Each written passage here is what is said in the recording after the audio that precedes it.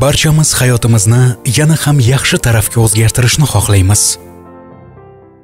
Hammamiz nimadir yangilik qilishga intilamiz.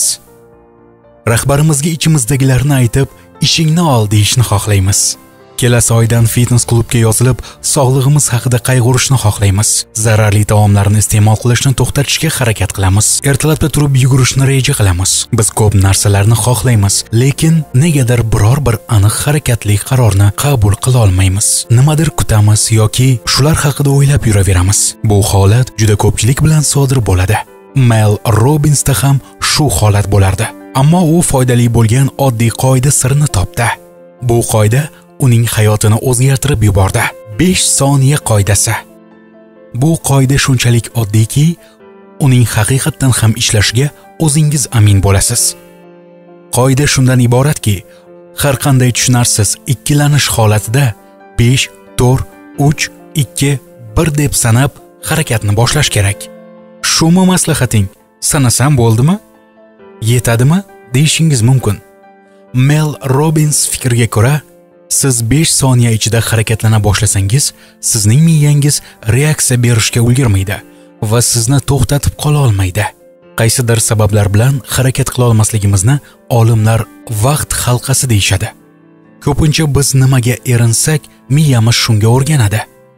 Ikkilanish qo'rqish yalqovlik qaror qabul qila olmaslik salbiy fazilatlar bularning barchasiga miyamiz o'rganib qoladi. Bu salbiy fazilatlardan qutulish uchun xulqimizni o'zgartirishimiz kerak. Va bu borada sizga aynan 5 soniya qoidasi yordam beradi. Bu qoidani amaliyotda qancha ko'p qo'llasangiz miyangiz shuncha tez moslasha oladi. 5 soniya qoidasi bu maqsadga erishish uchun miyamizni aldashga urinish desak bo'ladi.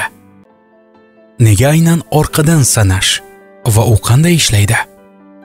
Birinchidan sanashga qaror qilishingiz bu ilk qaroringiz. Aynan jismoniy harakatimiz bizning ongimizni ham uyg'otadi. Harakatga keltiradi. Budilnik ovozidan uyg'onsangiz darrov turib uni o'chirganingizda yugurishga chiqqaningizda uchrashuv belgilaganingizda deyarli barcha holatlarda ongimiz harakatga keladi. Ikkinchidan 5 soniya qoidasi anchadan beri qilinmayotgan qarorlarni hozirning o'zidayoq harakatga keltirishga ongni uyg'otishga sabab bo'ladi. Uchinchidan agar birdan boshlab sanasangiz bir ikki uch hokazo xohlagancha sanashingiz mumkin. Orqaga sanash esa birdan keyin boshlashimiz kerakligini anglatib ongimizni uyg'otadi. Gohida biz nimanidir boshlashimiz uchun qulay vaqtni kutamiz. Qulay vaqt hamisha bor. Ana o'sha qulay vaqtni doim o'zingiz belgilaysiz. Faqat qaror qabul qilib vaqt tanlashga yalqovlik qilasiz. Xohlamaysiz yoki qo'rqasiz. Qo'rquvingizni yo'qotish uchun sizga uchta savol beraman. Qo'rquvingizni yengib qaror qabul qilsangiz aslida hammasi yaxshi tarafga burilib ketar. Harakat qila olmayotgan ishingiz sizga balki millionlarni olib kelar. Agar harakatingiz kerakli natija bermasa xo'sh nima bo'libdi? Harakat qilmay yashashdan ko'ra harakat qilib qadam tashlab bilim va tajriba oshirsangiz bo'ladi-ku. Tajriba oshirasiz-ku. Agar shular rost bo'lsa siz nimani kutyapsiz? Qulay vaqt qaror qabul qilish dushanbani kutish bu hammasi o'zingizni aldash-ku. Siz yalqovmisiz yoki qo'rqoqmisiz? Bu savollar orqali chetdan o'zingizni ko'rishingiz osonroq bo'ladi.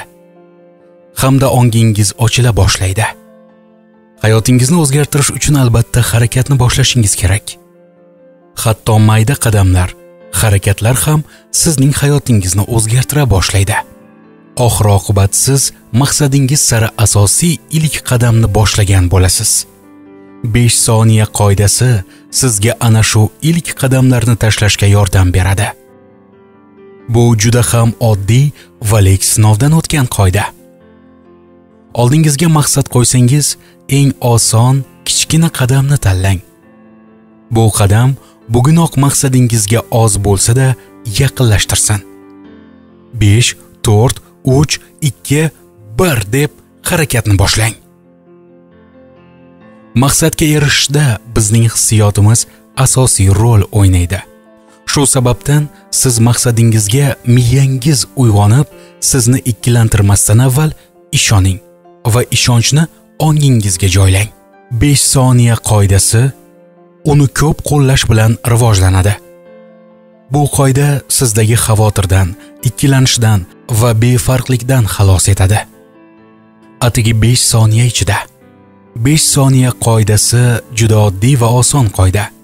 Qaror qabul qilish kerak paytda siz beqarorga aylanib qolsangiz ikkilanib turganingizda 5 4 3 2 1 deb sanab yuboring va shu zahoti nimadir paydo bo'ladi. Harakat boshlanadi.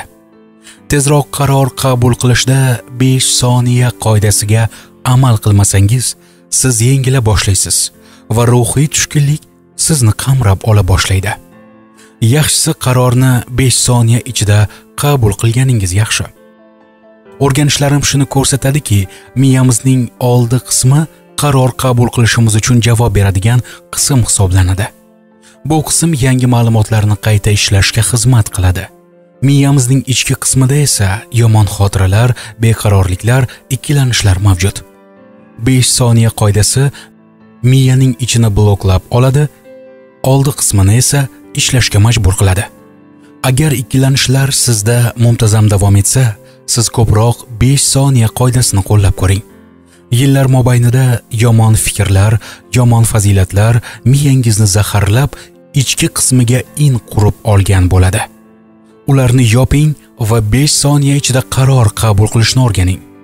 Men bu qoidani uyimda televizor ko'rib o'tirgan holatimda kashf qildim.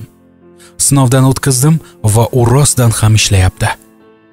Siz hozir bajarmoqchi bo'lgan ishingizni o'ylang va video tugagach 5 4 3 2 1 deb uni bajaring. Masalan 5 4 3 2 1 like bosing.